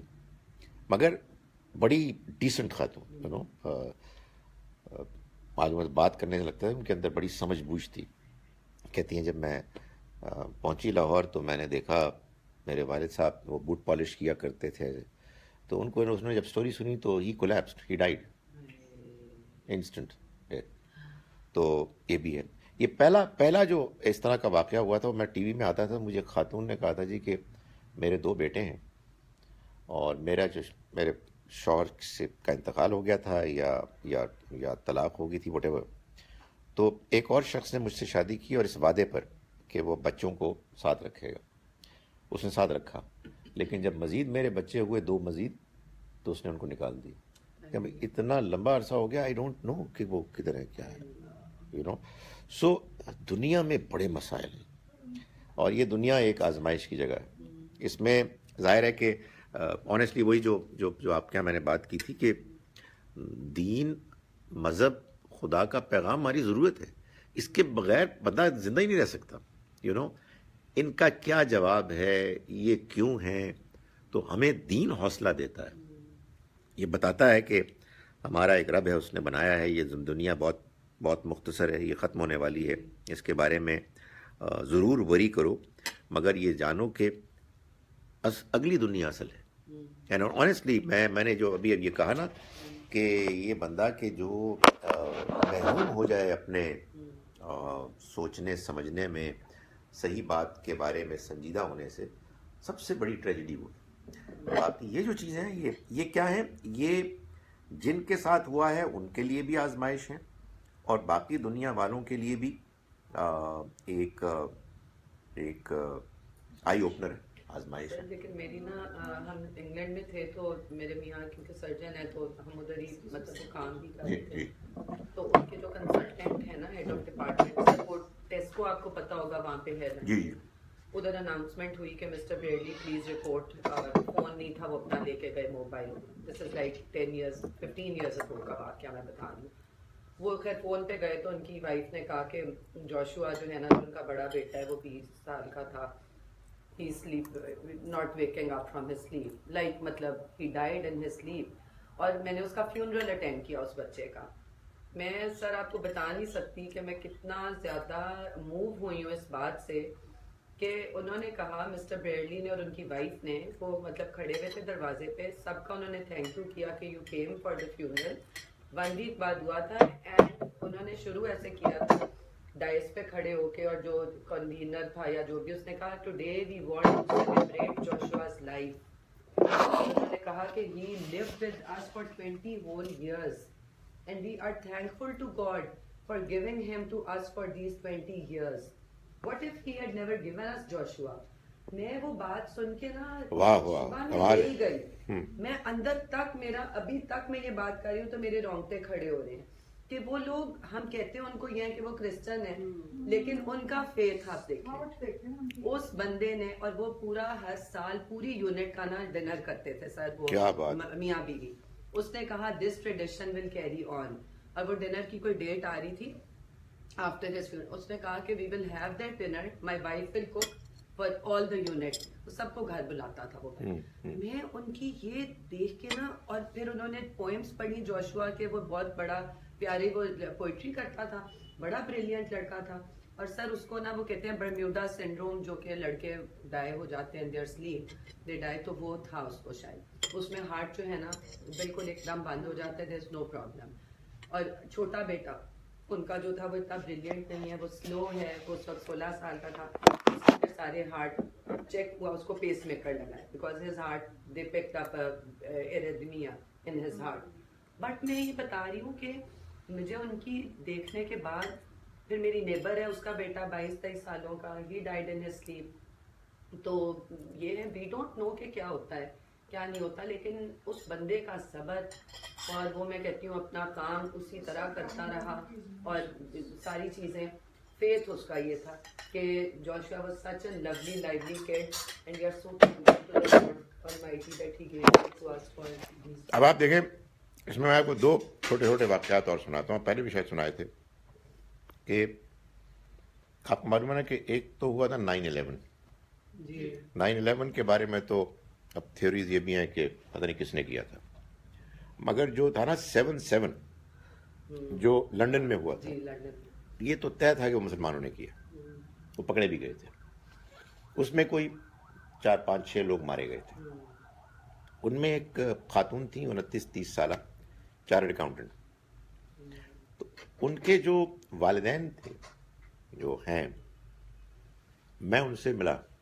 مجھے ایک مسلمان خاتون نے ان سے انٹروڈیوس کرایا۔ انہوں نے یہ بتایا کہ اس لڑکی کے والدین نے جس جن کو یہ یقین تھا کہ یہ حادثہ مسلمانوں نے کیا ہے اس کے بعد سے وہ کہتی ہیں خاتون کہ میں اس کی گواہ ہوں کہ اس کے ماں باپ مسلمانوں کے کوز کے بہت بڑے سپورٹر بن گئے۔ کہتی ہے کہ وہ کیا جگہ ہے؟ بلیک پول جی جگہ وہاں وہ مجھے کوئی ضرورت ہوتی ہے فنڈز کی فار مسلمز۔ She contributes. کمال ہے نا۔ یہ یہ حیرت انگیز بات ہے۔ جی جی بالکل۔ دوسرا وہ جو یہاں ایک تھا جرنلسٹ کیا نام تھا اس کا؟ جس کو جس کو ذبح کیا گیا۔ کیا تھا یعنی میں نے بھی اپنی ان گناہ گار آنکھوں سے اس کا وہ جیسے بکرا ذبح کرتے ہیں کیا تھا وہ۔ پرل کیا پہ کیا نام. تھا؟ ڈینیل. ڈینیل پرل اس کے والدین نے وہ جیو تھا۔ اس کے والدین نے باقاعدہ ایک مہم چلائی ہوئی ہے امریکہ میں after his death Muslim Jews friendship relationship. ہر سال ہوتا ہے یہ۔ اکبر ایس احمد ہمارے جو ہیں اسکالر یہ بھی اس میں جاتے ہیں اینڈ سو آن سو کیا پازیٹیو رسپانس ہے؟ کمال ہے. اب ان لوگوں کے بارے آپ دیکھیں کتنا شاندار ان کا ان کا رویہ رد عمل ہے. سو ظاہر ہے کہ یہ وہ حالات ہیں کہ جس میں انسان کو ہمت حوصلہ بھی کرنا چاہیے. میں نے چونکہ وعدہ کیا ہوا ہے کہ میں سوالوں کے جواب دوں گا تو بس مختصر جو کچھ رہ گیا. Sir, just like the recent incident with Zainab, we believe that Allah protects all the children. So why these poor souls are not protected from these evils? دیکھیں اللہ کی پروٹیکشن اس وقت تک ہوتی ہے جب تک کہ اس کا یہ فیصلہ نہیں ہوتا کہ بندے کو جانا ہے ورنہ تو اس کی پروٹیکشن کا مطلب یہ کہ وہ بندہ فوت ہی نہ ہو تو فوت ہونے کا جو فیصلہ ہے اس سے پہلے اللہ تعالیٰ ظاہر ہے کہ انسان کو آزمائش سے تو گزارتا ہے لیکن جب اس کے جانے کا فیصلہ ہو گیا تو پھر اس کے بعد اس کے بعد ظاہر ہے کہ انسان کو جانا ہی ہوتا ہے نا کہ مطلب ہمارے ملک میں یا کسی بھی ایسے ملک میں جہاں لاز نہیں ہے ان پلیس اور اتنا زیادہ نہیں کچھ جلدی جلدی ہوتا۔ وہ سیالکوٹ بردرز کو پھانسی ہوئی تھی اس کے قاتلوں کو نا وہ دو بھائی تھے۔ سر آپ کو یاد ہے نا؟ جی جی جی جی۔ تو میرے چچا ہیں وہ از دا لائر جو جی۔ گجرا والا میں ہوتے ہیں اور انہوں نے یہ پوری ورڈکٹ دی تھی۔ اور اس میں سات لوگ تھے جن کو انہوں نے کہا تھا کہ سزائے موت ہوگی۔ چھ یا سات لوگ تھے۔ اور سر آپ یقین کریں کہ ابھی تک شاید پتہ نہیں ایک کو بھی نہیں ہوئی یا ایک کو ہوئی ہے وہ یہی ہوتا رہتا ہے کہ آگے ہو جاتی ہے اپیل پھر آگے ہو جاتی ہے۔ میں یہ کہتی ہوں سر کہ یہ جو لبرٹی راؤنڈ اباؤٹ ہے اگر اس کے اوپر وہاں کے اوپر لا کر کسی کو ہینگ کیا جائے جو جس نے یہ کیا ہے عمل گناہ کیا تو اگلے کی ہمت نہیں ہوگی کرنے کی۔ سر ہمارے ادھر ہوتا ہی نہیں ہے نا۔ میں نے وہی نا ہاتھ کٹے ہوئے لوگ طواف کرتے ہوئے دیکھے ابھی میں عمرے پہ گئی تھی۔ مطلب دے آر جی جی۔ بالکل باجی یہ آخری چیز جو کچھ تبصرہ ہے وہ اس پہ بورنگ پہ وہ کہتے ہیں جی یہ بورنگ نہیں ہوتا۔ تو وہ اصل میں آپ لوگوں کے ساتھ پرابلم یہ ہو گئی ہے کہ آپ نے پھیکی چائے پینے کی عادت ڈال لی ہے۔ اس لیے آپ کو یہ بورنگ نہیں لگ رہا۔ تو جن لوگوں کو یہ جن لوگوں جن لوگوں کو عادت نہیں ہے، ان کے لیے بورنگ خیر، اللہ مالک دیکھیں، بات یہ ہے، میں میں آنیسٹلی لاسٹ لاسٹ بات ہے۔ میں یہ سمجھتا ہوں کہ اب کوئی پیغمبر تو آئے گا نہیں۔ اب اللہ تعالیٰ نے یہ اہتمام کیا ہوا ہے کہ مختلف لوگ ہیں، ان کے مختلف ٹیسٹس ہیں۔ کسی کو کوئی اپیل کرتا ہے، کسی کو کوئی اپیل کرتا ہے، ایسا ہی ہوگا۔ اس لیے میرا خیال ہے کہ اس میں یہ کوئی مسئلہ ہی نہیں ہے۔ کہ کسی کو کسی کی بات زیادہ یو نو انفلوئنس کرتی ہے کسی کو نہیں کرتی۔ The only thing that we need to be very careful in particular about is کہ ہم کسی شخصیت سے متاثر ہونے کی وجہ سے غلط باتیں بھی قبول کرنا نہ شروع کر دیں۔ ہر ایک کی بات کو ہمیں کریٹیکلی دیکھنا چاہیے اور جی جی جی۔ کوشچن یہ ہے کہ سر کہ کسی نے میرے سے گار لیا تھا ٹھیک۔ تو اب وہ اس کی ڈیتھ ہو گئی۔ جیسے مجھے پتا چلا کہ اس کی ڈیتھ ہو گئی تو میں نے لیکن اب میں یہ سوچتی ہوں کہ میں نے تو معاف کر دیا لیکن ان کے اپنے خاندان میں تو لڑائی شروع ہو جائے گی۔ ایک ایک مجھے دے دو ایک کر کے مجھے طرف سے میں نے تو اپنی طرف سے اس کو معاف کرے اب میرے دل میں یہ آتا کہ اس کی ایک بیٹی بڑی وہ ہے بیچاری مطلب غریب سی اور اس کے حالات سے اب میں یہ سوچتی ہوں کہ میں میں نے تو معاف کر دیا لیکن میں ان کو یہ کہوں کہ نہیں آپ مجھے کمیٹی دے دیں۔ تو وہ کمیٹی میں میں اس کو بیٹی کو دے آپ کی مرضی ہے۔ دیکھیں دیکھیں میرے میرا مشورہ یہ ہے کہ اسٹیٹمنٹ دے دی ہے تو پھر اسٹیٹمنٹ دے کے واپس نہ لیں۔ وہ تو اس کا اس کا اس کا میکنزم اب کیا ہوگا؟ اس کا طریقہ کیا ہوگا؟ پہلے آپ یہ کہیں گے کہ نہیں مجھے تم وہ جو قرضہ میں نے ان کو دیا تھا دو۔ وہ یہ کہوں گی نا اس کے بعد میں ان کو کہوں گی میں نے تو اس کو معاف کر دیا۔ مطلب جب آپ یہ بات کہیں گی نا جب آپ یہ بات کہیں گی تو اب آپ ان سے مشورہ کر رہی ہیں۔ اگر آپ اپنی رائٹ کو استعمال کریں تو آپ کو ڈیڑھ لاکھ واپس ملے اور آپ اس کو دے دیں۔ لیکن آپ یہ کہیں جی کہ وہ ڈیڑھ لاکھ دے دو میرا خیال ہے میں اس کو دے دوں۔ تو پھر ان کے پاس بھی وہ کہنے کو بات ہوگی۔ ویسے اچھی بات ہے آپ شیئر کر لیں ان سے بات۔ میں یہی کہہ رہا ہوں نا کہ آپ ان کو یہ کہہ دیں کہ میرا اب آپ کو مشورہ۔ وہ آپ کو پتہ ہے ایسے کو ایک مہینے سے وہ آگے سے کہتے ہیں ہمیں پتہ ہی نہیں کہ کمیٹی کہاں ڈالی ہے کدھر ڈالی ہے کون باقی کی کمیٹی دے گی کیونکہ اس طرح کے آپ کے کوشچن یہ آ رہے ہیں کہ ہاں یہ ہوگا انفارچونیٹلی ہمیں پتہ ہی نہیں ہے کہ کہاں ڈالی ہے کہیں نہیں ڈالی میں نے اس کو معاف کر دیا اللہ معافی دے اللہ تعالیٰ آپ کے اس کو قبول کرے جی اس جسچر کو۔ ہو سکے تو کر لیں لیکن مشکل لگتا ہے مجھے۔